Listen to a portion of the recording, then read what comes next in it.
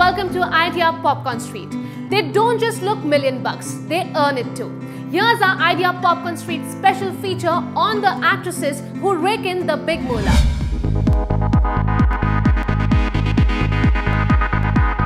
B-Town beauties are the most sought after. Not just on the big screen, but by the big brands too.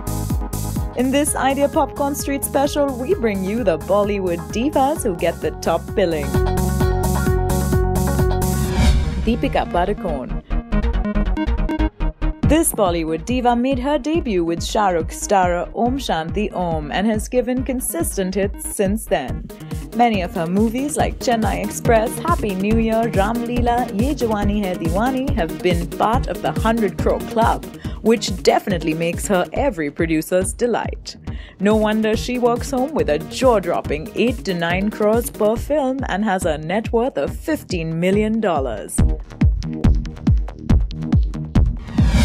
Kareena Kapoor Khan. This Begum of Bollywood has a net worth of $10 million. From being sensuous in commercials to bringing the right on screen chemistry with her co stars and being a lucky mascot for many, Bebo has it all. She has also been a part of the 100 Crore Club and given hits like Singham Returns, Golmaal 3, and Bodyguard, for which she takes home a cool 8 to 9 crores per film. Katrina Kaif from being a rock star in Mere Brother Ki Dulhan to a secret service agent in Ek Tha Tiger, this Aam Sutra girl has consistently delivered box office blockbusters. Her anglicized Hindi and questionable acting skills haven't stopped her from being in the top ranks with the highest grossers like Dhoom 3, Bang Bang, and Jab Tak Hai Jaan.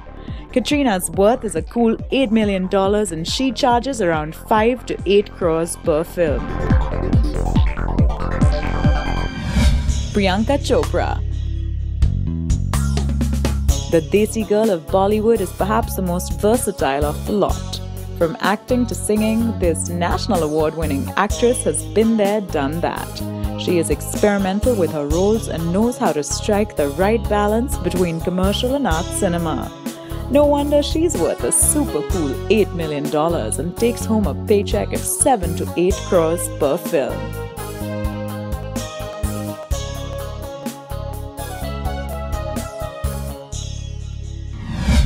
What do you think about our Idea Popcorn Street feature by commenting below.